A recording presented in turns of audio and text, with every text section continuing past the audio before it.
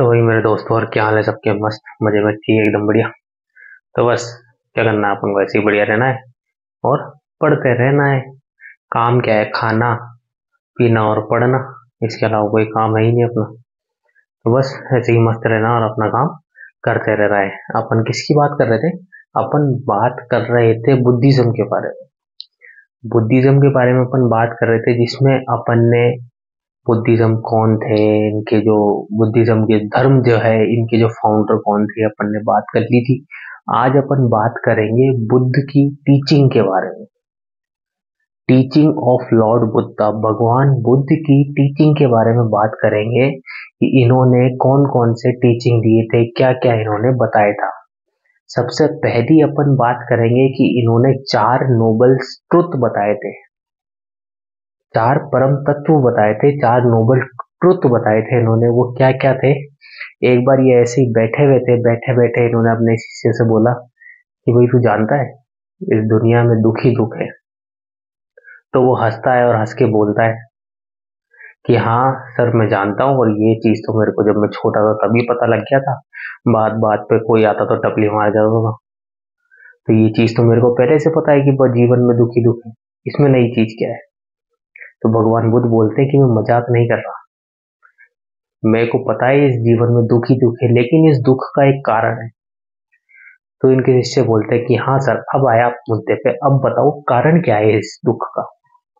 तो इन्होंने बताया कि जीवन में दुख ही दुख है लाइफ इज़ फुल ऑफ़ सोरो और इस दुख का कारण है इग्नोरेंस क्या है इस दुख का कारण? इस दुख का कारण है इग्नोरेंस क्या है इस दुख का कारण? इस दुख का कारण है इग्नोरेंस और ये जो दुख है, इसको खत्म करने के लिए एक पाथ बनाया है।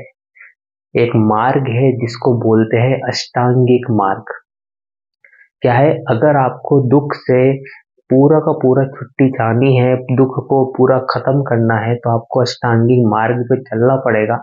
तब जाके इस ज़िंदगी में जितना भी दुख है, वो दुख खत्म होएगा। तो इन्होंने चार नोबल ट्रुथ बताए। इन्होंने जब ज्ञान की प्राप्ति हुई तो उन्होंने अपनी पहली शिक्षा जो दी, वो ये दी कि इन्होंने चार नोबल ट्रुथ बताए, जिसमें ये बोला कि इस दुनिया में दुख ही दुख है और इस दुख का कारण है इग्नोरेंस और इस चीज़ के लिए एक पाथ बनाया, जिस पाथ को मार्ग है, जिसको मार्ग को बोलते हैं अष्टांगिक मार्ग एट फोल्ड पाथ और ये जो दुख है, ये रुक सकता है किससे? निर्वाण से। जब आपको निर्वाण की प्राप्ति होगी, जब ये दुख जो है, ये खत्म हो जाएगा। और इस दुख को खत्म करने के लिए एक मार्ग बनाया है, जिसका नाम है एट फोल्ड पाथ मतलब अष्टांगिक मार्ग। ये होते हैं, इन्होंने चार नोबल ट्रुथ दिए। दूसरा है प्रतित्य सम उत्पाद प्रतित्य सम उत्पाद पे इन्होंने बोला है कि if this exist then that exist आज ये हो रहा है तो इसके पीछे कोई ना कोई कारण है। आज मैं आपको पढ़ा रहा हूँ तो इसके पीछे कोई ना कोई कारण है। तो इन्होंने बोला है कि कोई भी चीज़ इस धरती पे घटित होती है तो उसके पीछे एक कारण होता है। कार्य कारण होता है हर चीज़ के पीछे। कि आज अगर मैं आपको पढ़ा रहा हूँ तो इसके पीछे कारण है। इन्होंने ये बोला है कि शिक्षा जो है बांटने से बढ़ती है। ऐसा नहीं है, आप किसी को अपनी पैसा नहीं दे सकते तो आप खुशी बांटो, उसको अपनी नॉलेज दो और नॉलेज जो है बांटने से बढ़ती है। तो इन्होंने ये बताया है कि भाई ये जो थ्योरी है, किस पे बेस्ड है? इफ़ेक्ट ऑफ़ बुद्धिज्म मतलब डिपेंडेंट ओपिनियन पे। कि इस कोई भी चीज़ दुनिया में घटित हो रही है तो उसके पीछे कोई ना कोई कारण है। तो क्या बताया इन्होंने कि दुनिया में कोई भी चीज़ घटित होती है तो उसके पीछे कोई कारण होता है। और इनके अकॉर्डिंग लॉर्ड बुद्धा के अकॉर्डिंग सौरों का कारण अपन ने पता ही लग गया कि दुख का, का का कारण जो है वो है इग्नोरेंस और ये जो है ये जो चीज़ है दुख का कारण इग्नोरेंस है ये चीज़ इन्होंने एक्सप्लेन करी है द्वदेश निधन चक्र में. इसमें एक्सप्लेन करी है? द्वदश निधन चक्र में. और इन्होंने ये बताया है मतलब प्रतित्य समुत्पाद जितना प्यारा शब्द है ये प्रतित्य समुत्पाद. इसका मतलब इसका मतलब ये है कि if this exist then that exist मतलब इस धरती पे कोई भी चीज़ घटित हो रही है तो उसके पीछे कोई ना कोई एक कारण होता है। कोई भी चीज़ बिना कारणवश कभी भी घटित नहीं होती। आज मैं आपको पढ़ाता हूँ तो मेरे पढ़ाने के पीछे कारण ये है कि वो मैं आपको नहीं बताऊँगा मैं क्यों बताऊँ? पढ़ाने के पीछे भी एक कारण है आपके पढ़ने के पीछे आप फ़ोन में वीडियो देख रहे हो, उसके पीछे भी एक कारण है। वो कारण क्या है? आपको कहीं पे अच्छी नौकरी चाहिए, इसीलिए आपको ज़्यादा नॉलेज गेन करनी है। ये कारण आपको कहीं ढंकी जगह पे नौकरी लगना है। दूसरा कारण, आप मेरे पढ़ाने से लेके आपके पढ़ने तक के पीछे एक कारण है। इसीलिए इन्होंने बोला है प्रतीत समुत्पाद का मतलब ये है कि इस धरती पे कोई भी चीज़ घटित होती है तो उसके पीछे कोई ना कोई कारण होता है। तो प्रातित्य समुत्पाद दिया अब इन्होंने जो पहले चार नोबल सत्य जो दिए, नोबल ट्रुथ जो दिए थे उनमें बोला था कि अगर आपको दुख खत्म करना है तो उसके लिए एक मार्ग बनाया गया है। उस मार्ग का नाम है अष्टांगिक मार्ग।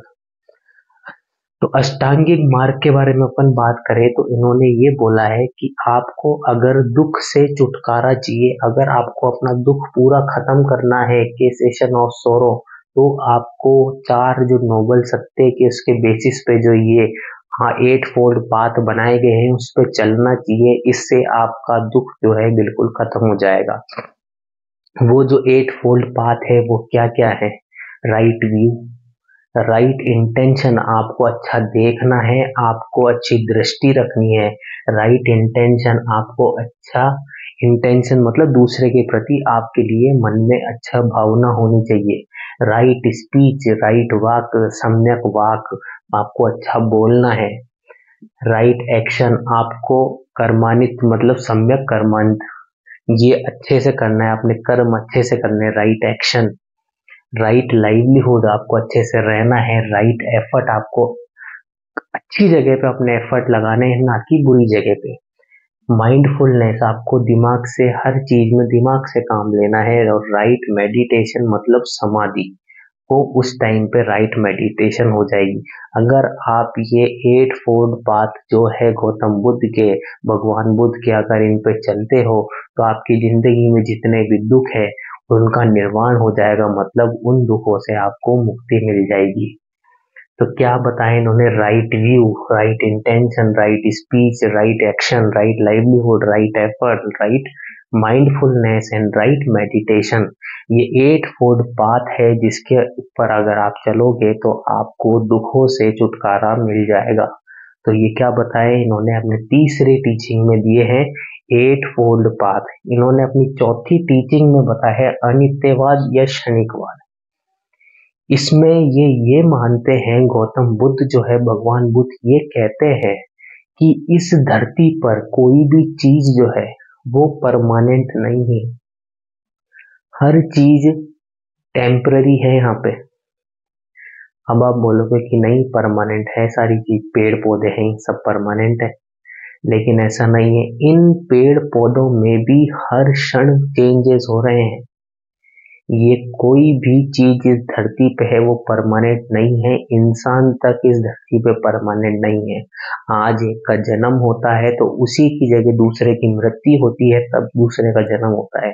तो आज एक आदमी मरता है, दूसरा जन्म लेता है तो वो आदमी अगर परमानेंट होता तो वो आदमी भी ज़िंदा रहता और जन्म होने वाला भी, का भी जन्म होता। इसीलिए गौतम बुद्ध ये बोलते हैं कि इस धरती पे कोई भी चीज़ जो है वो परमानेंट नहीं है, सब टेम्पररी है।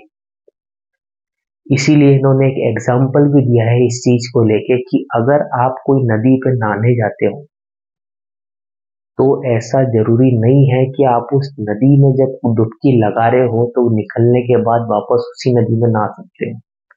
आप एक नदी में नहाने जाओगे, उसके बाद में वापस उसमें डुबकी लगाओगे तो आप उसी नदी में नहीं नहा रहे हो, दूसरी नदी में नहा रहे हो। लेकिन ये बात आपके समझ में नहीं आई होगी कि दूसरी नदी में कैसे नहा रहे भाई जा गए तो हम उसी नदी में नहाने, उसी नदी में नहाएँगे।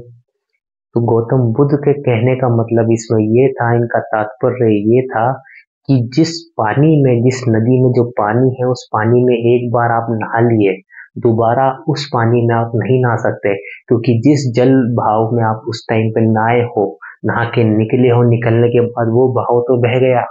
दूसरा भाव आ गया, नया भाव में आप नहा रहे तो इसीलिए गौतम बुद्ध ये कहते हैं कि इस धरती पे कोई भी चीज़ जो है परमानेंट नहीं है। एक टाइम पे सब का अंत होना निश्चित है मतलब सब टेम्पररी है, कोई भी चीज़ परमानेंट नहीं है यहाँ पे। तो इसमें गौतम बुद्ध क्या बोलते हैं? कि एग्जिस्टेंस जो है all thing in the world में वो टेम्पररी है। Nothing is permanent in universe universe में कोई भी चीज़ परमानेंट नहीं है और हर ऑब्जेक्ट टेम्पररी है, उसी चीज़ को बोलते हैं अनित्य और क्षणिकवाद। इसीलिए गौतम बुद्ध ने एक एग्ज़ाम्पल दिया है कि nobody can bath in one river on two times दो बार एक आदमी एक ही नदी में नहीं नहा सकता। जैसे आप खाना खाते हो, आपकी मम्मी गरम गरम रोटी लाई दो मिनट बाद वो रोटी ठंडी हो जाती है। मतलब वो चीज़ परमानेंट नहीं है। वो चीज़ टेम्पररी है, हर क्षण। आपकी बॉडी में भी चेंजेस हो रहे हैं। आज मेरा जो चेहरा है, वो हर क्षण बदल रहा है। लेकिन जो मेरे को रेगुलर देखता है, उनको पता नहीं लगेगा। जो मेरे को सालों साल तक जिन्होंने नहीं देखा, अगर मैं उनके सामने जाऊँगा तो कई सारे बोलेंगे कि, भाई, तू पतला हो गया। भाई तो मोटा हो गया। तो इसीलिए हर क्षण आपकी बॉडी में भी चेंजेस हो रहे हैं और हर क्षण इस धरती पे भी चेंजेस हो रहे हैं। तो इसीलिए इस धरती पे कोई भी चीज़ जो है वो परमानेंट नहीं है, सब टेम्पररी है। तो ये किसमें बताया गया है? अनित्यवाद या फिर क्षणिकवाद में ये चीज़ बताई गई है। दूसरा आता है अनात्मावाद। अनात्मावाद में गौतम बुद्ध जो है वो बिलीव नहीं करते एटर्नल सोल में। मतलब वो जो है भगवान को एटर्नल सोल जो है उनमें नहीं मानते। ये बिलीव करते हैं फ्लो ऑफ़ थॉट्स में। बहते हुए थॉट्स में बिलीव करते हैं मतलब एक जो है शिक्षा का भाव जो बह रहा है, उसमें ये बिलीव करते हैं, ये कोई एटर्नल सोल में बिलीव नहीं करते। ये ये मानते हैं कि अगर एक थॉट का अगर मृत्यु होती है, आपके दिमाग में कोई विचार आ रहा है, अगर उस विचार की मृत्यु होती है तो उसी के जस्ट बाद नया विचार आपके दिमाग में उत्पन्न होने लग जाता है मतलब बर्थ लेने लग जाता है नया। जो थॉट है, वो आपके दिमाग में जन्म लेने लग जाता है। तो अनात्मावाद में ये बोलते हैं कि अगर आपका एक थॉट की मृत्यु होती है तो उसी क्षण आपके दिमाग में नया थॉट जो है, वो जन्म लेने लग जाता है। तो इनमें क्या बताया है कि इन्होंने एथर्नल सोल पे ये बिलीव नहीं करते, ये बिलीव करते हैं फ्लो ऑफ़ थॉट्स में। मतलब अगर आपके दिमाग में कोई थॉट आ रहा है, अगर वो मर गया तो उसी क्षण आपके दिमाग में नया जो थॉट है वो जन्म ले लेगा। मतलब इसी चीज़ को बोलते हैं flow of thoughts eternal soul ये होता है कि एक ही चीज़ पर अपन अड़े रहें, वो चीज़ पे ये बिलीव नहीं करते। निर्वाण जो है, छठा जो है निर्वाण। निर्वाण का मतलब है ब्लोइंग आउट मतलब आपने ये सारी चीज़ें धरती से देख ली, अब आपने एक समाधि धारण कर ली मतलब आप निर्वाण, आपको निर्वाण प्राप्त हो गया है. मतलब ये लास्ट एम है लाइफ ऑफ़ बुद्धिज्म का. एक बुद्धिज्म की बुद्धिस्ट जो शिक्षा लेते हैं, उनका लाइफ का जो यह आखिरी पड़ाव है, जो क्या है? निर्वाण. निर्वाण जो है, आखिरी पड़ाव है. इसमें बुद्ध ये मानते हैं कि बुद्ध जो है वो भगवान पे विश्वास नहीं रखते हैं। आज अपने इंडिया में, वर्ल्ड में, पूरे वर्ल्ड में सत्तर परसेंट, सात परसेंट, सॉरी, ऐसे लोग हैं, मेरे को वो जो ग्राफ है, वो इतना ज़्यादा कुछ पता है नहीं, लेकिन ऐसे लोग हैं जो भगवान को नहीं मानते, जो बुद्धिज्म को फॉलो करते हैं। और ये बोलते हैं कि हम जो है फ्लो ऑफ़ थॉट्स में विश्वास रखते हैं, ना कि हम कोई भगवान भगवान को नहीं मानते। हम मूर्ति पूजा नहीं करते। हम जो है अपने मन के जो विचार है, अपने विचार अच्छे होंगे तो आपको अच्छा फल मिलेगा। हम जो है उसमें विश्वास रखते हैं। इसीलिए ये बिलीव किसमें करते हैं कर्म फल और रीबर्थ रीबर्थ थ्योरी या फिर कर्म फल पे ये विश्वास रखते हैं। एक टाइम ऐसा हुआ कि गौतम बुद्ध जो है जगह पे गए। वहाँ पे उनसे किसी ने पूछा कि निर्वाण का मतलब क्या है? तो आपने बुद्धा इस्माइल देखी है? बुद्धा इस्माइल ऐसा ही नहीं है, ऐसी कई सारी चीज़ें हैं जिसपे जो है गौतम बुद्ध चुपचाप रहते थे। वो सिर्फ़ इस्माइल रहते थे उन चीज़ों में। इसका मतलब ये है कि अगर आज आपने मेरे से कुछ पूछा और मैं सिर्फ़ एक इस्माइल दे रहा हूँ तो आपके दिमाग में आएगा कि पता वता तो कुछ है नहीं, इसको फोकट बोले जा रहा है बस। इसलिए अगर कोई आदमी चुपचाप रहता तो आदमी ये समझता है कि इसको इस चीज़ के बारे में नॉलेज नहीं है। लेकिन जो गौतम बुद्ध थे, वो गेयवादी थे। उनको पता सब था, लेकिन वो उस चीज़ के बारे में बताना नहीं चाह रहे थे। वो अज्ञवादी नहीं थे। वो क्या नहीं थे? वो अज्ञेवादी नहीं थे। वो गेवादी थे, क्योंकि उनको पता सब था, लेकिन वो उस चीज़ के बारे में उस टाइम पे बोलना नहीं चाहते थे। इसलिए वो सिर्फ़ एक स्माइल देते थे। ऐसी कौन कौन सी चीज़ें हैं जिनके बारे में वो सिर्फ़ स्माइल देते थे? वो थे परम तत्व, ईश्वर, निर्वाण। किसके बारे में? किसी ने पूछा कि भाई परम तत्व क्या है? गौतम बुद्ध से पूछा, परम तत्व क्या है? तो परम तत्व उस टाइम पे गौतम बुद्ध जो है वो बता नहीं सके, इसलिए वो सिर्फ़ स्माइल देते हैं। परम तत्व के बारे में अगर आप पूछोगे कि ईश्वर एग्जिस्ट करता है या नहीं करता तो गौतम बुद्ध इसमें भी सिर्फ़ एक स्माइल देंगे।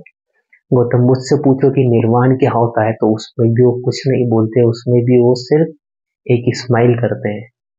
तो ये थी टीचिंग ऑफ़ बुद्धा बुद्ध की जो टीचिंग थी, वो क्या थी? वो ये थी छह जो उन्होंने टीचिंग दी थी, वो ये थी इसमें पहले फोर नोबल ट्रुथ दिए थे, जिसमें बोला था कि वर्ल्ड इज़ फुल ऑफ़ सोरो दुनिया में दुख ही दुख है। इस दुख का कारण है इग्नोरेंस सोरो खत्म हो सकता है निर्वाण से और उसके लिए एक पाथ बनाया है जिसको बोलते हैं अष्टांगिक मार्ग या फिर एट फोल्ड पाथ प्रतित्य सम उत्पाद में ये बताया गया है कि इस धरती पे कोई भी चीज़ घटित होती है तो उसके पीछे कोई ना कोई कारण है। इसमें बताया? प्रतित्य सम उत्पाद में एट फोल्ड पाथ बताए हैं, जिसमें right view right intention right speech right action right livelihood right effort right mindfulness and right meditation अनित्यवाद में ये बोला है कि इस धरती पे कोई भी चीज़ जो है परमानेंट नहीं है, सब जो है टेम्पररी है।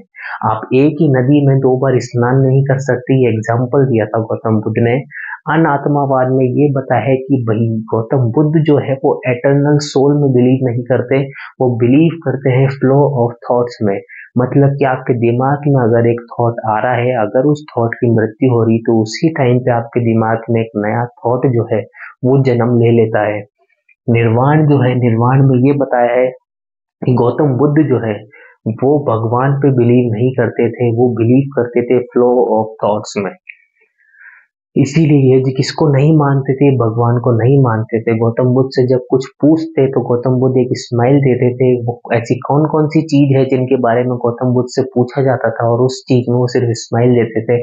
वो है परम तत्व, ईश्वर और निर्वाण के बारे में गौतम बुद्ध से पूछा जाता था तो वो बस स्माइल देते थे। इसका मतलब ये नहीं कि गौतम बुद्ध जो है अज्ञेवादी थे। गौतम बुद्ध जो है गेयवादी थे, लेकिन वो जो है इस चीज़ के बारे में बता नहीं पाते थे, इसलिए लोग उनको अज्ञवादी समझते थे, लेकिन वो अज्ञवादी नहीं थे। तो ये छह टीचिंग थी गौतम बुद्ध की जो आज अपन ने पढ़ी।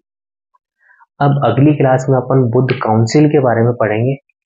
तो भाई आज के लिए इतना काफ़ी है। Okay bye bye and take care